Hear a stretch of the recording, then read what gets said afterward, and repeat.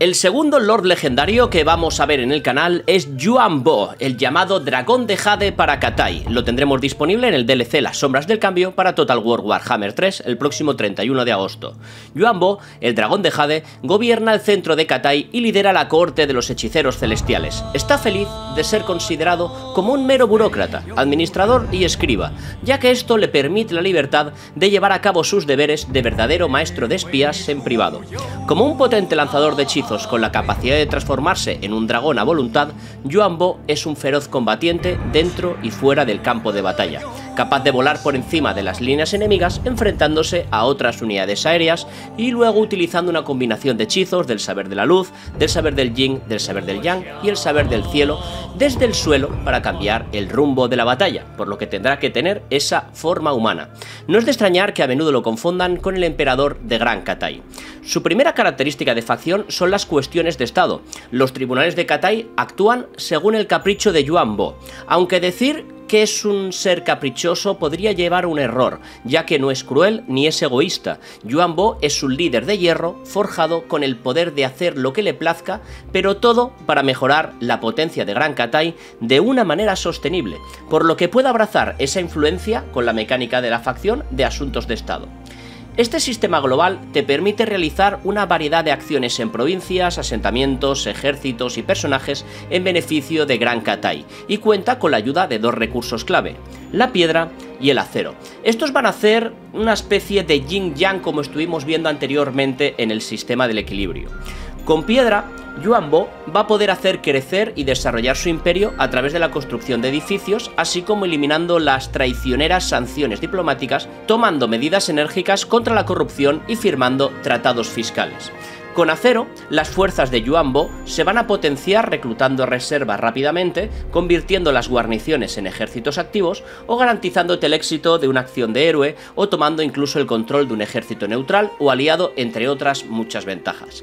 Piedra y acero debe permanecer en equilibrio para garantizar que las estrategias de Yuan Bo puedan orquestarse, pero no utiliza el registro de Yin y Yang en campaña como teníamos acostumbrados en Gran Katai. Pero si se usan eficientemente, podrás tener acceso a algunas acciones estatales únicas, que sí que requieren tener la armonía de estos dos recursos. Su segunda característica de facción o mecánica sería empoderar la brújula. La brújula de Wuxing, que recordáis que se podía utilizar en Katai, en esta ocasión o en esta subfacción, en vez de 4 puntos, va a tener 8 estados direccionales, 4 de los cuales van a ser completamente exclusivos para Yuan Bo y su subfacción, con los que puede interactuar, con cada uno de ellos eh, le va a dar importantes recompensas y beneficios como vimos anteriormente. Pero estos 4 nuevos estados direccionales de la brújula se tienen que ir desbloqueando poco a poco tras la tarea de viajar a lugares críticos y construir relés para potenciar la brújula. Yuan Bo adquiere un nuevo estado direccional con cada relé que construya. Al hacerlo, puede elegir dirigir los vientos de la magia hacia Ashire, desbloqueando la capacidad de manipular y aprovechar la fuerza de cualquier provincia directamente. Alternativamente, puede dirigir la brújula, por ejemplo, hacia las tierras abruptas, inspirando un fervor en la gente de Katai que ayuda a forjar una alianza todopoderosa.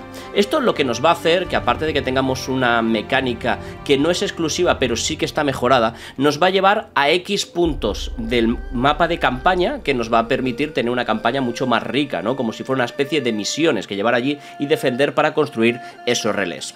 Hablemos ya sobre las unidades exclusivas que tiene esta facción, que son los leones de Jade y Azabache, que son dos guardianes eh, leones únicos, se van a unir a Gran Katai. Son estatuas vivientes formadas de jade o de azabache. Los leones son entidades enormes, eh, mágicas, que sirven con maestría. Aunque mágicas quizá no sería lo correcto. Hablemos primero del león de Jade, porque el león de Jade sí que es un conducto mágico, un lanzador de conjuros capaz de proporcionar hechicería de apoyo en el campo de batalla. Está potenciado con la habilidad Conducto de Jade, que va a otorgarte un aumento al poder mágico de tu ejército, con tasa de recarga. Además, con el aliento del dragón de Jade vas a tener una oportunidad de tener objetos portachizos que va a poder cubrir al ejército enemigo con llamas verdes en dos ocasiones inclinando violentamente la balanza hacia la armonía, hacia el yang, por lo que va a tener la armonía yang. Eso es importante, porque sin embargo, el león de azabache, en su contraprestación, existe para equilibrar el yang hacia el yin, con lo que va a tener, eh, va a tener característica yin para su ejército. Y en vez de utilizarse como conducto para la magia, el dragón de azabache es en cambio un bloqueador para los hechizos.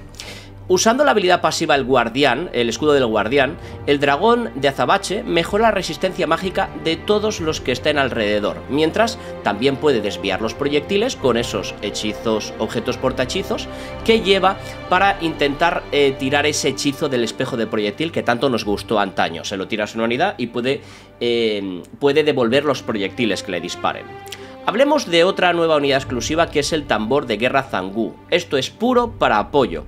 Gran Katai comúnmente monta tambores de guerra sobre las puertas de su ciudad para tocarlos cuando las tropas se despiertan para la batalla. Sin embargo, ahora tenemos la oportunidad de llevarlos al campo de batalla. Tenemos que hacer rodar esos tambores en el campo de batalla encima de un gran carro y eh, ir golpeándolos hará que anime a nuestras tropas ¿no? para llegar hasta la victoria con su ritmo atronador, dando fuertes bonificaciones de apoyo y amplificación de armonía. Con la habilidad El desdén del emperador dragón van a poder dar un área de efecto a todas las unidades aliadas haciéndolas inmune a la psicología y aumentando su poder de combate cuerpo a cuerpo. O puedes elegir tener un beneficio de armadura alrededor. Tienes que elegir entre esas dos músicas que vas a hacer, ofensiva o defensiva. Cuando llega el momento de cargar en la batalla, otorga un 15% de velocidad y ataques mágicos a todas las unidades que estén cerca. Cuidado porque no parece muy importante, pero bien utilizado, aparte con el amplificador de armonía, estos tambores de guerra Zangu pueden dar muchísima marcha ya no solamente por la música, a los ejércitos de Katai. Vamos con los hombres cuervo Onyx. Como agentes de la emperatriz lunar, los eh, hombres cuervo Onyx son espías de élite del reino de Katai. Estas feroces criaturas con apariencia humanoide alada, picos afilados y garras aún más afiladas, son muy rápidos y son grandes exploradores de un campo de batalla. Hay que usarlos bien porque tenemos que tener en cuenta que pueden utilizarse como exploradores. En pelea puede que sean un poco frágiles. Lo que sí que tiene es una habilidad pasiva que se llaman los ojos de la emperatriz, que les va a dar una considerable amplitud a su visibilidad y también al rango de detección, y también pues le va a permitir acechar a sus presas desde la distancia. Tenemos como nuevo Lord para la facción un Lord genérico que se llama el General Celestial. Solo los seres más poderosos ascienden al rango de General Celestial, y cada general es un experto guerrero empuñando armas dotadas de las armerías de Wei Jin. Liderando desde el frente, la estrategia no es necesariamente su fuerte, eso se lo dejan a los magos y magistrados de Katai. Ellos van puros al combate cuerpo a cuerpo. Con su habilidad activable Celestial Sweep, el general balancea su poderoso martillo en un amplio arco, infligiendo cantidades extremas de daño perforante como si fuera un efecto de vórtice. Tiene también una habilidad pasiva que va a permitirle incrementar el liderazgo a todos los que están alrededor de él, mientras tiene también una habilidad activa que lo que va a hacer es incrementar la resolución y la moral de los aliados cercanos mientras mejora su defensa cuerpo a cuerpo y su resistencia física, por lo que tenemos un Lord que es muy potente en combate cuerpo a cuerpo, pero que también tiene buenas habilidades para acompañar a sus tropas. Y como hábil guerrero que es, sigue con sus amplios ataques cuerpo a cuerpo y capacidades de apoyo de liderazgo, el general celestial es el señor ideal para liderar cualquier batalla desde el frente.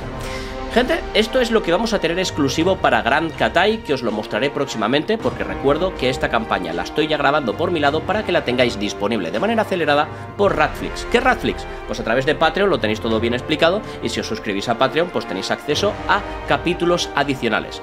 Gente, en breves os mostraré un pequeño gameplay de él, pero tened en cuenta que quedan solo dos días para que os pueda mostrar mi gameplay. A partir del día 17 de agosto lo vais a tener completamente disponible a través de la plataforma Patreon o día a día iremos compartiendo a través de YouTube.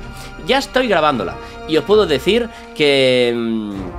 Hay que utilizarlo de una manera apropiada, porque por ejemplo en la campaña de Immortal Empires eh, no empieza precisamente en Gran Katai.